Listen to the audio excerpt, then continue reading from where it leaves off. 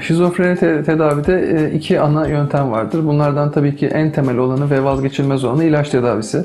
Günümüzde şizofrenide ilaç tedavisi oldukça ilerlemiş durumda. Çok yeni ilaçlar ve çok yeni metotlar var. Ee, İlaçların yan etkileri oldukça azaltılmış ve e, etki güçleri oldukça arttırılmış durumda. Yani şizofreninin tedavisiyle ilgili ve ilaçlarla ilgili mitler çoğunlukla doğru değil esasında. Her kişiye uygun ve beklentiye uygun ilaç tedavileriyle hastalık belirtileri kontrol altına alınıp kişinin günlük hayatını sürdürmesi, evlenmesi, çoluk çocuk sahibi olması, e, mesleğine devam ettirmesi mümkün hale gelebiliyor. Bir de e, psikososyal destek e, tedavileri dediğimiz bir alan daha var.